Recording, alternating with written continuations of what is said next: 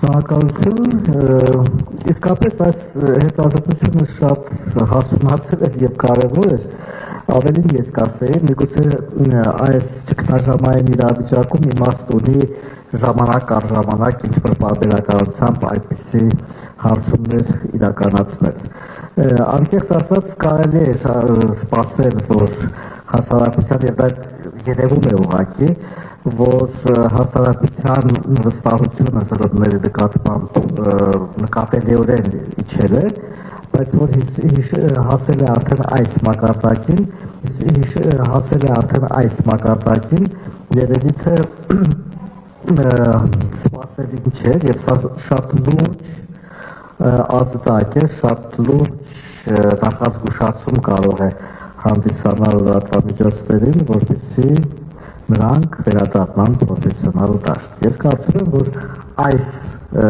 ցուցանիշը հետևանք է հենց այն բանի, որ Հայաստանում բերվածությունը լրատվամիջոցների հասել է իր գագաթնակետին, այսինքն հատկապես հետ պատերազմյան շրջանում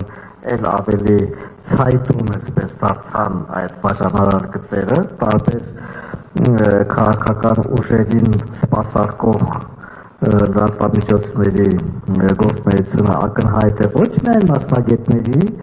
այլ նաև շարքային քաղաքացու հենց առաջին լրատվամիջոցների լսարանի համար։ Եվ երբ ապատեղեկատվությունը, fake news-ը փաստերի մանիպուլյացիան, մեկնաբանությունների մանիպուլյացիան եւ այլն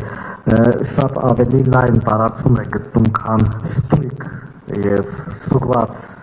փաստերի ուրեմն տրամադրումը լսարանին երբ որևէ մեկնաբանություն կամ վերլուծություն նպատակաուղղված է կոնկրետ քաղաքական շահեր սպասարկելու, չի կարող դա վստահություն ներշնչել եւ կարծում եմ, որ նույնիսկ տվյալ լրատվամիջոցի լսարանը, այն լրատվամիջոցի, որը որ զբաղվում է քաղաքական քարոզով, հասկանում է թե ինչ է կատարվում, ուղղակի միգուցե իրեն հաճելի է հենց այդ բովանդակությունը կարդալ։ Եվ առհասարակ հասարակություններ կարծում եմ բաժանվել է հենց այդ նույն բերվածության չափով եւ իրանք կարծում են այն ինչ որ ուզում են լսել, ուզում են տեսնել, իրենց համոզմունքներին ինչ որ մոտ է, կգնում են նույնիսկ այդ առաքելությունը կատարելիս այնքան քիչ է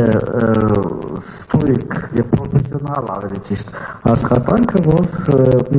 այդ լրատվամիջոցի լսարանը շատ լավ պատկերացնում է թե ինչ է ինքը օգտագործում։